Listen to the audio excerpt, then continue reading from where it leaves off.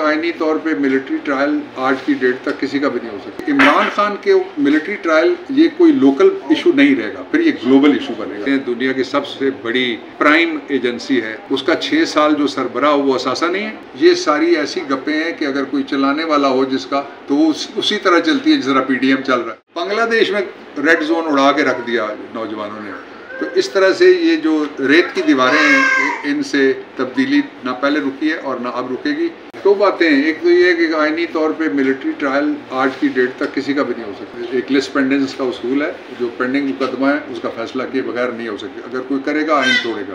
One دوسرا یہ ہے کہ پہلے یہ کہتے تھے کہ پی ٹی آئی کو جنرل پاشا چلاتا ہے۔ پھر انہوں نے میرے گرائیں جنرل ظہیر صاحب کا نام لینا شروع کر دیا۔ وہ گئے تو اس کے بعد کاجی ہمارے سابق دوست ترین صاحب، ان کا نام لینا شروع کر دیا۔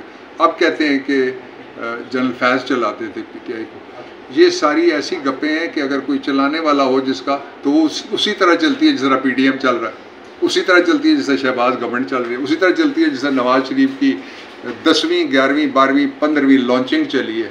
اس لیے اس سے کوئی فرق نہیں پڑنے والا۔ سوائے اس کے کہ عمران خان کے ملٹری ٹرائل یہ کوئی لوکل ایشو نہیں رہے گا، پھر یہ گلوبل ایشو بنے گا۔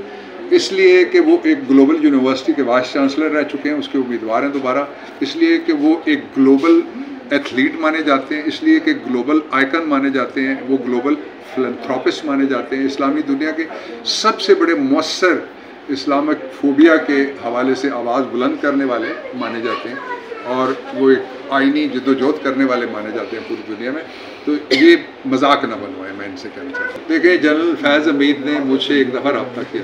جب آرٹیکل چھ کی سپریم کورٹ آف پاکستان میں گفتگو ہو رہی تھی، ایک سے زیادہ مرتبہ رابطہ کیا۔ انہوں نے میری اوپینین مانگی تھی۔ وہ لیگل اوپینین ہے between client and the lawyer privilege گفتگو ہے۔ میں نے ان کو اپنی اوپینین دے دی تھی۔ وہ آپ مجھے یہ بتائیں، جو شخص ایسی ایجنسی جس کو ہم کہتے ہیں دنیا کی سب سے بڑی پرائم ایجنسی ہے، اس کا چھ سال جو سربراہ وہ اثاثہ نہیں ہے؟ کیا وہ غدار ہو سکتا ہے؟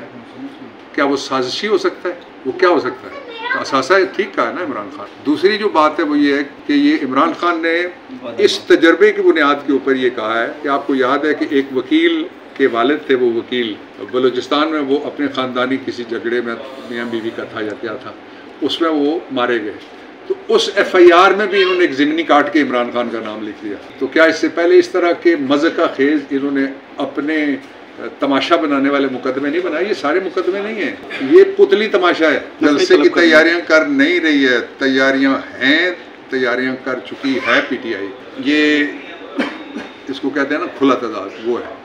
کہ کچھ جلسے ان کو حلال لگتے ہیں، کچھ حرام، کچھ سٹن ان کو ٹھیک لگتے ریڈ زون کیا ہے جی؟ ریڈ زون پاکستان کا حصہ نہیں ہے، احتجاج کیا جا سکتا ہے وہاں بھی؟ لوگوں کو ہر جگہ احتجاج کا حق ہے۔ دنیا میں ساری جگہ احتجاج کا نیو یارک میں کون سا ریڈ زون ہے؟ مجھے یہ بتائیں۔ واشنگٹن میں کون سا ہے؟ لنڈن میں کون سا ریڈ زون ہے؟ دلی میں کون سا ریڈ زون ہے؟ بنگلہ دیش میں ریڈ زون اڑا کے رکھ دیا نوجوانوں نے۔ تو اس طرح سے یہ جو ریت کی دیواریں ہیں، ان سے تبدیلی نہ پہلے رکی ہے اور نہ اب رکے گی، جلسہ ہوگا۔ اچھا بابر صاحب لاسٹ بتائیے گا۔